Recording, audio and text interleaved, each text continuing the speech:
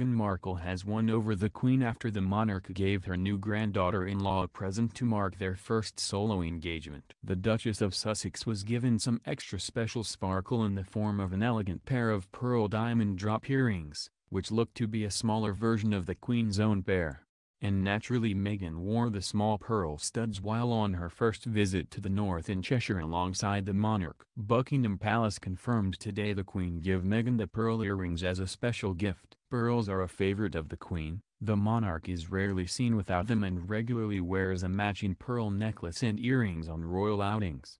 This is not the first time the monarch has gifted her grandson's new wife with jewelry. Meghan Markle looked beautiful wearing a diamond-encrusted Queen Mary's bandeau tiara, lent to her by the Queen, for her royal wedding.